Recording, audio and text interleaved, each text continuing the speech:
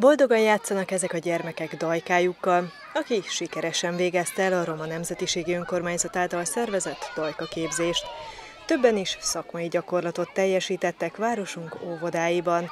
A nyári időszakban pedig biztosították tovább foglalkoztatásukat, de nem csak a dajka képzésben résztvevők, hanem más OK és képzést sikeresen teljesítőnek is lehetőséget adtak. Lehetőséget kaptunk egy pályázat útján, hogy a 14 tanóvodai egységben tudjuk foglalkoztatni ezeket a dajka végzettségű hölgyeket, és ennek megfelelően gyakorlati szakképzést kapnak, és ezáltal már dicsekedhetek is, hogy már egy főállásba került, és jövőre várható az óvodában nyugdíjaztatás, és úgy néz ki, hogy több főnek is lehetősége lesz főálláshoz jutni, és így van, egyre többen jutnak úgy munkához, hogy például a vagyonőreink közül, vagy a konyhai kisegítőink közül most is éppen három kapott főállást lehetőség által, úgyhogy igen, valami elindult, és merészen merem állítani, hogy én 20 éve csinálom ezt, de még ennyi pénz, ennyi lehetőség, ami igazán az emberekhez jut el, még nem volt.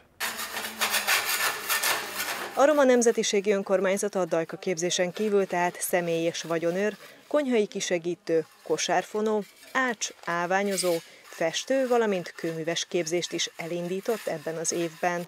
Hosszú János kiemelte, a jövőben is szeretnék képzésekkel segíteni a hátrányos helyzetűeket. Az OK és tanfolyamok most nagyjából lezárultak, de amik most indulni fognak, az a targonca, gépkezelő, hogy említettem, akkor a nehéz gépkezelői tanfolyam, és igazán piackutatást folytatunk városi szinten az itteni vállalkozók által, hogy melyek azok a területek, hogy szakképzettség által rögtön munkához tudjuk juttatni az embereket, és már vannak elképzelések, mert a szakipari munkák sajnos hiányt szenvednek ma a városban.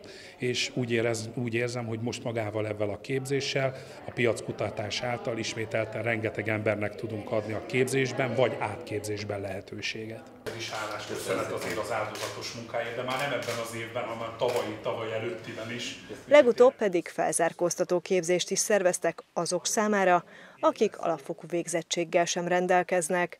Ezek a képzések a napokban zárultak, ezáltal is nagyobb lehetőséget nyújtva a hátrányos helyzetűeknek a munkavilágában. A Roma Nemzetiségi Önkormányzat pedig oklevelekkel köszönte meg a pedagógusok nyári időszakban nyújtott munkáját. Nevében és a csapatunk nevében is megköszönjem ezt neked, barátom. Köszönöm szépen.